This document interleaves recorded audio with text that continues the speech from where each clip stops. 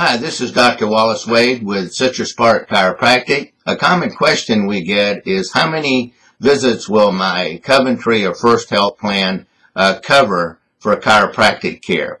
And the answer is uh, that varies depending on your condition, the severity of your condition, and also based on medical necessity. When you come in, we will evaluate your condition, and then we can call uh, Coventry or First Health and at that time, we can tell you the number of visits that your uh, plan will cover. But generally speaking, overall, uh, Coventry or First Health Plan does have good benefits for chiropractic care.